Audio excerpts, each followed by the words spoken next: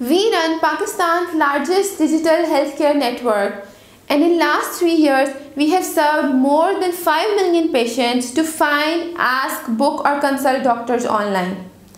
And in this journey, do you know what's the most serious and neglected problem we found? It's child immunization and growth. And stats prove it. Unfortunately, Pakistan is among those top countries where there are most unvaccinated children. The child mortality rate under age 5 is highest and 45% of our children suffer from stunted growth. And this is not because that infrastructure is not available, but this is because parents lack the basic awareness about vaccination and their child's growth. So we decided to combine technology and community to start an initiative and make a difference. In first step, we have built an app in which when you add details of a child, it will show you complete vaccination schedule. Then it reminds you about the vaccination with SMS and automated calls.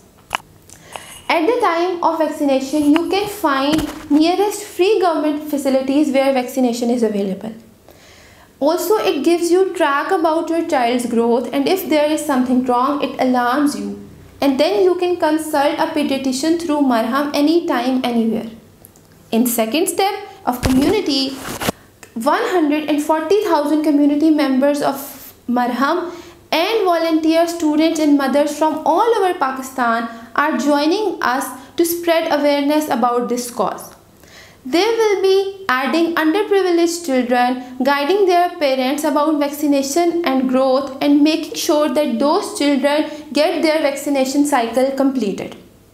We will be using advanced data science mechanisms to make sure fully immunized child, their growth patterns and running the operations of this community drive.